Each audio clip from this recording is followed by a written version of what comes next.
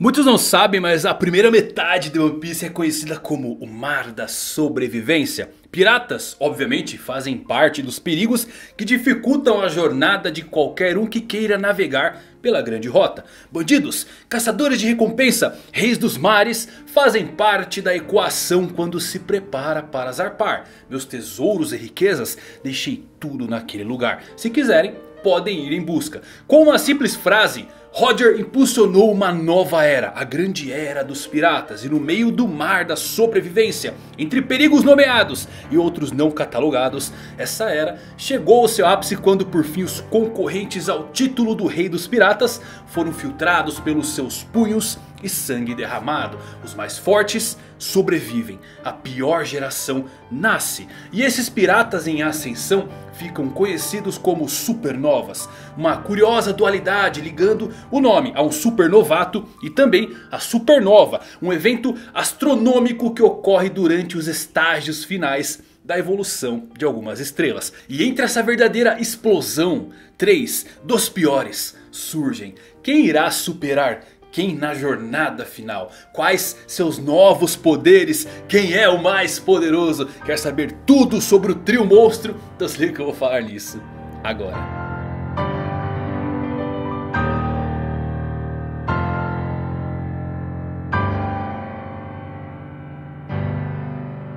Fala galera, eu vou Fusari com mais um vídeo pra vocês e como vocês estão? Espero que todos vocês estejam maravilhosamente bem Que episódio foi esse, meus amigos? Poucos segundos da pior geração valeram quase toda a série Parecia um filme de One Piece, adorei Vou um pouquinho longe em dizer que foi uma das melhores animações já feitas aí pela equipe do anime simplesmente fantástico. Eu decidi trazer para vocês explicando como estão os poderes do trio monstro, os níveis, como o Luffy evoluiu, Lau e sua fruta absurda e Kid com seus novos poderes. Assiste até o fim, tá bem legal esse vídeo. Se você é novo no canal, aproveita para se inscrever no Escritão Mangalático. Dispara o like agora com vocês.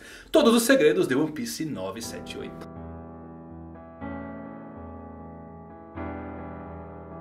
Bom, nosso episódio abre explicando realmente o que aconteceu com o Sunny que foi bombardeado e podemos voltar na construção desse navio onde o Frank acaba explicando mais sobre a árvore do tesouro Adão que é um tipo de madeira muito forte, da mais alta qualidade encontrada no mundo de One Piece. Os únicos navios conhecidos que utilizam esse tipo de madeira raríssima são o Ouro Jackson e o Sunny.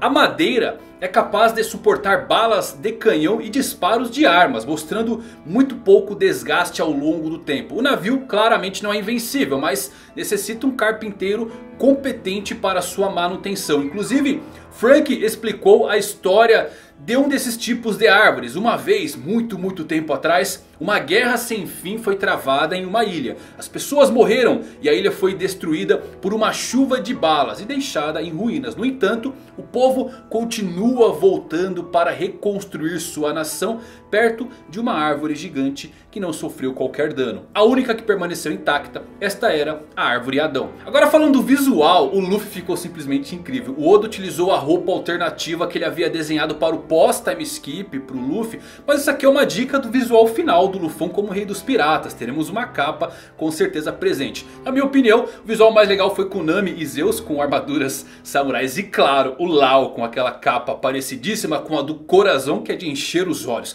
Os chapéus de palha começam a se perguntar onde estão os aliados. A Yakuza, os prisioneiros de Eudon, bandidos, mosqueteiros, todos os barcos foram consertados, mas eles ainda não estavam lá. Cremon começa a se desculpar pelos planos terem sido vazados e ido por água abaixo. E uma smile da borboleta e um outro que, sei lá que diabo que é esse smile, parece o Morgan da fake news.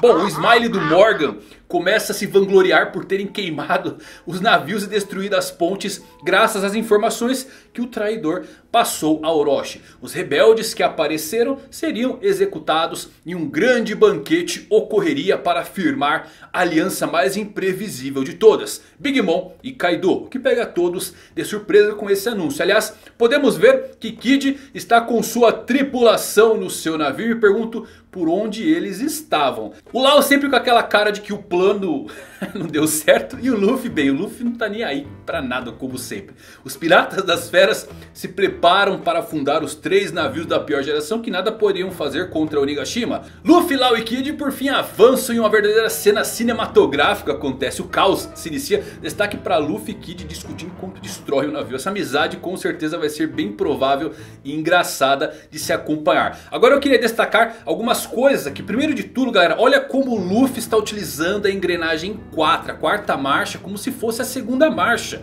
Ele apenas gritou e acionou o Baldman. Isso é algo notável hein galera. Mostra que a engrenagem do Luffy está passando para o próximo patamar. E agora estou bem curioso com esse haki avançado, em como isso vai afetar a quarta marcha do Luffy. Porque aqui o Luffy liga a válvula de haki e ela jorra de uma forma desproporcional nesta marcha. Por isso temos um tempo limite de uso. Agora aprender da reter o Ryu-Oh, Luffy pode conseguir manter por um tempo talvez indeterminado essas novas formas. E com isso partir para uma próxima que envolva quem sabe despertar ou a famigerada quinta marcha. Só para efeitos de comparativo, lá na luta contra Doff, Luffy se esgotou e precisou de alguns minutos para recuperar seu Haki. E depois de utilizar a quarta marcha novamente contra do Flamingo, Luffy mal teve força suficiente para lutar de volta. Utilizar a quarta engrenagem pela segunda vez no mesmo dia deixou Luffy inconsciente durante 3 dias.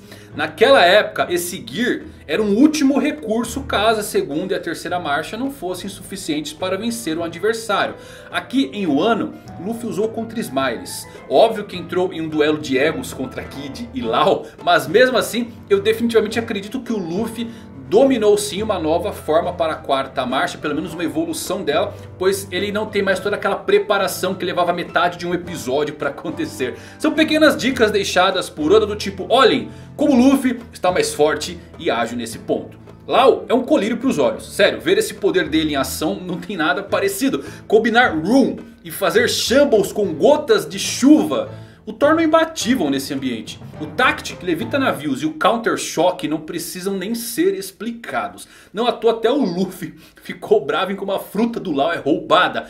Lau só não é um deus total em One Piece porque entra muito na questão do Haki. Até para quem só assiste o anime. Eu até queria deixar uma coisa aqui para complementar o seu conhecimento. Não se preocupem que não é spoiler. Mas foi confirmado que com um Haki superior é possível resistir aos efeitos Room. A exemplo, Lau não pode fazer um Shambles em um Yonkou jogando ele numa prisão de Kairoseki ou no mar. Porque a fruta não funciona. Isto se aplica a outros poderes como a de Sugar. Então Lau só precisa treinar esse Haki para ser o pirata pirata mais forte de One Piece, convenhamos. Só que nesse caminho tem a ambição de um homem com chapéu de palha e um espetado de metal. Outra coisa interessante aqui é Kid utilizando seus poderes para se mover igual o Luffy. Ele magnetiza sua mão, então é atraído pelo metal. Isso permite uma mobilidade incrível para o Kid. Fora o inédito Punk Vice ou prensa magnética onde o katakana é o mesmo utilizado para Vice, de vício. Esse golpe é inspirado no nome de uma banda punk chamada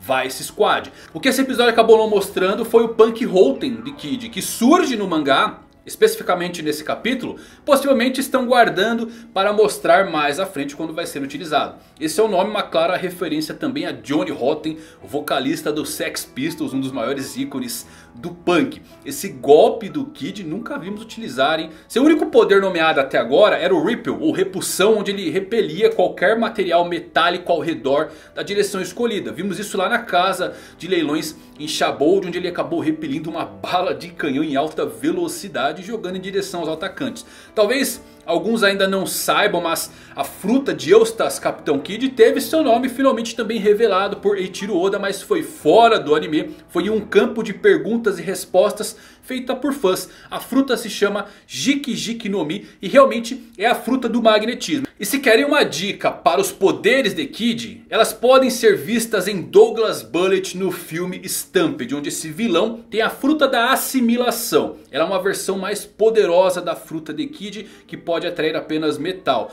mas dá para ter uma noção do que o espetado consegue fazer. Bem, o navio dos piratas das feras não aguentou a discussão entre Luffy, Kid e Lau. Eu estou querendo saber como essa luta vai ser dividida. Temos Kid, Luffy e Lau, cujo principal objetivo é destruir Kaido, os samurais têm o mesmo objetivo. Afinal, quem vai pegar Orochi? Quem vai lutar contra Big Mom? As configurações e possibilidades de batalhas são quase infinitas nesse arco. E no meio de todo esse caos surge Kyoshiro, ou melhor, Denjiro. O cara simplesmente cortou um navio de guerra como se fosse nada. Essa é a parte mais impressionante desse episódio, na minha humilde opinião. Denjiro ao lado de Ashura Douji e Kawamatsu são atualmente os samurais mais poderosos do país de Wano. Se lembrem que na morte de Yazu ele parou o ataque deu um Zoro em estado de fúria. Enquanto mantinha um sorriso no rosto. Eu queria muito ver o Zoro treinando com esses samurais. Aqui mais uma vez Vale notar que Denjiro tem um feito único que na questão de espadachins somente Zoro e Mihawk já fizeram. Cortar o navio desta forma é impressionante e isto é bem sutil e genial pois Denjiro não vai ter muito tempo de tela. Não vai ter lutas e mais lutas para mostrar o seu poder total. Então Oda brilhantemente o coloca fazendo um feito que Zoro e Mihawk já fizeram para estabelecer os níveis de poder e mostrar como Denjiro é poderoso. Eu acho que o maior destaque desse episódio sem dúvidas foi essa animação, essa pequena cena da pior geração mostrando seus poderes. Ficou simplesmente incrível isso. Como eu disse, era para ser até um episódio fraco, com uma transição apenas para eles chegarem em Onigashima. Mas a equipe de animação conseguiu fazer um trabalho nota 10, excelente ver essa movimentação. Claro que eles estenderam outras cenas, como essa parte do Sunny sendo explodido. Essa parte do Frank querendo enganar, indo em direção. Não existe no mangá, mas até aí tudo bem. Foi compensado por essa belíssima animação. Inclusive a de Denjiro também cortando o navio que eu achei simplesmente épico. Que episódio foi esse meus amigos? Agora eu pergunto para vocês o que vocês acharam dos novos poderes de Luffy. Essa transição, essa evolução que ele teve para a quarta marcha. Um indício claro de que ele está dominando os seus poderes a um nível nunca antes visto. Está muito mais ágil e rápido. E Lau, Lau não dá pra falar do Lau. O poder do Lau é simplesmente absurdo. Já o Kid, deixo minhas apostas pra vocês. Luffy sabe sobre esse novo Haki. Kid pode nos apresentar o despertar da sua Konomi. Isso iria equilibrar as coisas por Luffy teria um poder que Kid não tem. E Kid teria um poder que Luffy não tem. Seria incrível manter essa rivalidade sadia dos dois, que é bem legal. Então pode anotar que pode vir a acontecer. Kid despertando seu fruto. Luffy mesclando novas engrenagens. E o Lau sendo Lau. Sempre. Espero que vocês tenham gostado gostado desse vídeo, se divertido. Se você gostou, deixa um like. Até os próximos. Valeu por assistir.